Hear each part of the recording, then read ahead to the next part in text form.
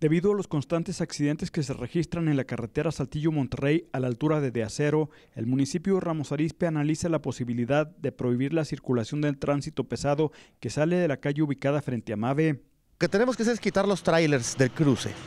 Si nosotros quitamos el tráiler que viene de Mave y cruza hacia el, hasta el caballo, les aseguro que no habría accidentes. ¿Qué es lo que sucede? Cuando vienes, en esa curva hay un punto ciego en lo cual vas, vienes tú del parque industrial o de Monterrey o de aquí de Ramos y vas a Saltillo, y hay un momento en que vas y empiezas a dar vuelta y están los carros parados. Y antes de la curva hay una lomita, que también es un punto ciego.